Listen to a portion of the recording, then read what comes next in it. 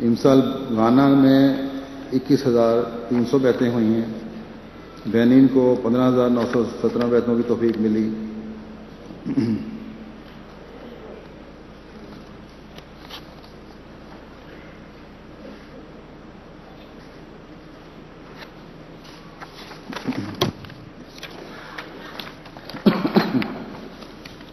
Burkina Faso में चौदह हज़ार बैतें हुई सेरेलियोन में सात हज़ार बैतें हुई हिंदुस्तान में लगे से चौदह हज़ार नौ सौ उनतीस बैतें हुई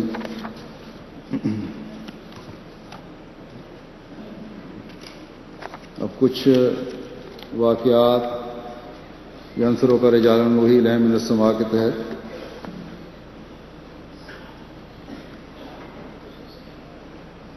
मॉस्को से हमारे मुबलिक लिखते हैं कि रशियन दोस्त इज़्ज़तुल्ला साहब सताईस सताईस मई के रोज़ मिशन आए और बैत करने की ख्वाहिश का इजहार किया और कहा कि आज मेरी ज़रूर बैत ले लें, क्योंकि रात मेरी ख्वाब में हज़रत मसीम इस्लाम आए हैं और इसके बाद मैं मज़ीद देर नहीं करना चाहता। काफ़ी जज्बाती रहे। कह फिर उन्होंने कहा मैंने ख्वाब में देखा कि एक गैर हमवार रास्ते पर एक बस में सवार सफ़र कर रहा हूँ और मैं बस के पिछले हिस्से में खड़ा हूँ। यकदम बस की रफ्तार तेज़ हो गई और वो रास्ते से लुढ़क गई और पिछला हिस्सा नीचे एक खाई की तरफ़ हो गया। मैं ऊपर जाने की कोशिश कर रहा हूँ, लेकिन पहुँच नहीं सकता। अचानक कहीं से मसीम इस्लाम की शबी नमूदार हुई और अपने दायां हाथ मेरी तरफ़ बढ़ाते हुए फरमाया कि मेरे हाथ को मजबूती से पकड़ लो, तुम हलाक ना होगे मैं कहता हूँ, कैसे पकड़ूँ? मुझे में इतनी ताकत है नहीं। फिर आप खुद मेरा हाथ पकड़कर अपनी तरफ़ खींचते हैं और मैं हमवार रास्ते पर आने में कामयाब हो जाता हूँ। इस ख्वाब के रोब और खौफ से जब मेरी आँख खुली तो मैं अपने आप को पसीने में शराबूर पाया और मेरे जिसम पर एक कपकपी थी सवाल ही नहीं कि मैं कुछ लेट करूँ।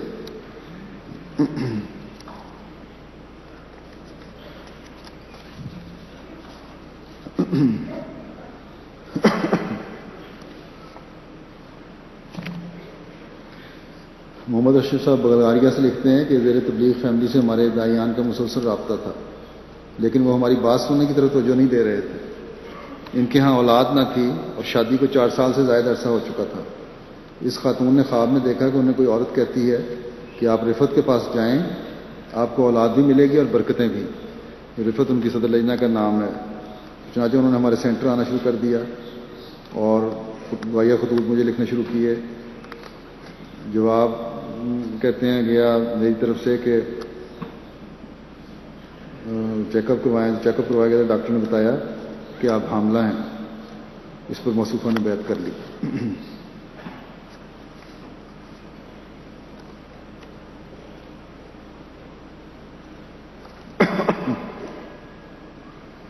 बुकीना फासो अमीर साहब लिखते हैं कि तिजानी फिरका के एक आलिम इसहाक सना साहब को अहमदी कबूल करने की तोफीक मिले। उन्होंने अपनी बैत का वाक्य बयान किया है कि 12-13 साल की उम्र में एक दफ़ा बच्चों के साथ दौड़ का मुकाबला करते हुए मुझे आवाज़ आई कि इमाम मेहदी की तरफ़ आओ। बचपन की उम्र होने की वजह से मुझे कुछ समझ ना आई कि यह आवाज़ कैसी थी। अब मेरी उम्र 26 साल है। एक रात मुझे आवाज़ आई कि इमाम मेहदी आ गया है, इसकी तरफ़ जाओ। मैंने उठकर देखा तो कोई ना था। मैं फिर सो गया। ख्वाब में फिर देखा है, कोई कह रहा है कि इमाम मेहदी आ गया, उसकी तरफ़ जाओ। तीसरी दफ़ा फिर मुझे यही यूँ लगा कि मेरे कान के पास आकर किसी ने फिर यही कहा है कि इमाम मेहदी आ गया, इसकी तरफ़ जाओ। अगले रोज़ मैं एक इमाम के पास गया और उससे दरियाफ्त किया कि क्या वाकया, वाकई इमाम मेहदी आ गया? इमाम ने कोई मुनासिब जवाब न दिया। मैं डोरी शहर में आया, एक दिन रेडियो सुनते हुए अहमद की तबलीग सुनने का मौका मिला, जिसमें इमाम मेहदी का बार बार ज़िक्र आया।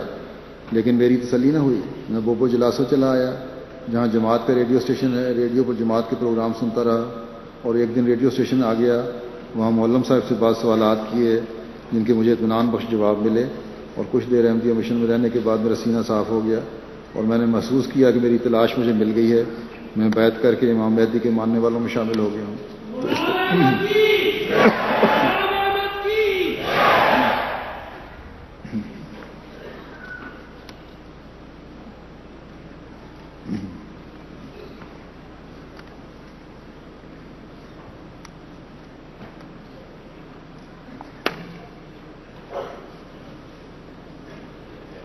फ्रांस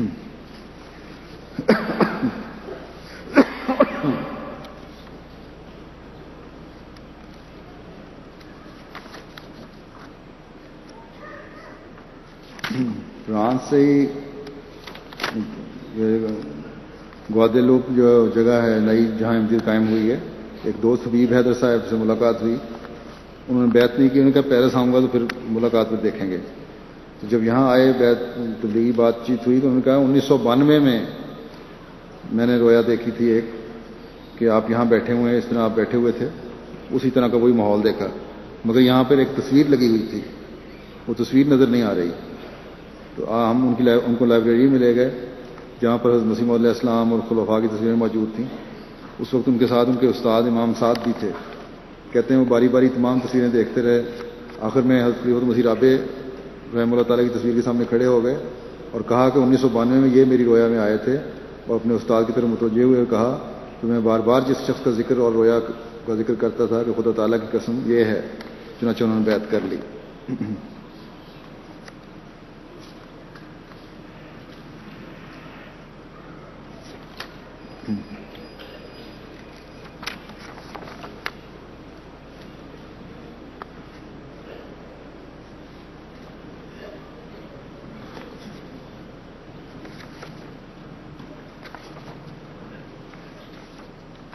तरह के बेतुमशुमार वाक़ात हैं, वक्त ज़्यादा हो रहा है। ताइद लाई के वाक़ात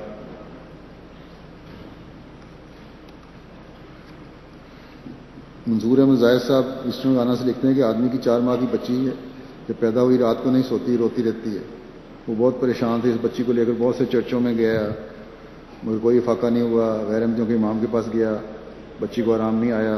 हमने कहा कि आप लोग दुआ करें, अगर बच्ची ठीक होगी तो मैं अहमदी हो जाऊँगा। तो हमने कहा कि ठीक है, ज़रूर दुआ करेंगे। अल्लाह की मर्ज़ी है, कबूल करने कबूल करेगा। खास ने, कहते हैं कि जाके सारी फैमिली को बुलाया और सबने मिलकर दुआ की। और अब तसली दी उन्हें, अगले रोज़ फजर की नमाज़ के बाद उसके घर गए तो मालूम कर करिए कि बच्ची की रात कैसी गुजरी। और आदमी और उसकी बीवी बहुत खुश नज़र आया उन्होंने बताया कि रात पहली बार बच्ची सुकून से सोई है। और इस वजह से वो सारे एमपी हो गए।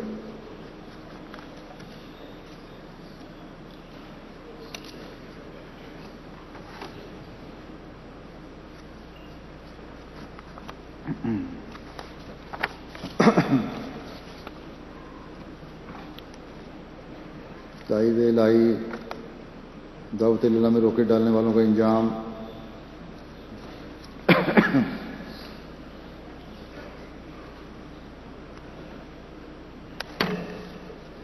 जमात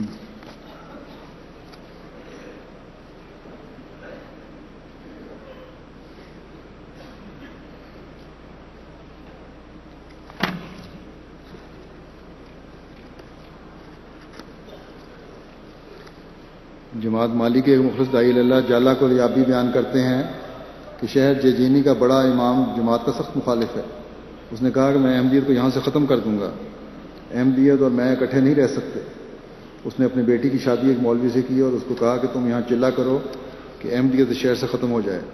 इस मौलवी ने चिल्ला किया। चिल्ला के दौरान वो सख्त बीमार हुआ और उसकी एक आँख ख़त्म हो गई और और इस पर इल्ज़ाम लगाए गए कि वो धोखेबाज और चोर है। और इन इल्ज़ामों को देखकर ही मौलवी जो अहमद को इस शहर से बाहर निकालने की दुआ कर रहा था, खुद शहर छोड़कर चला गया और जमात अहमदिया खुदा तला के फजल से दिन ब दिन तरक्की कर रही है।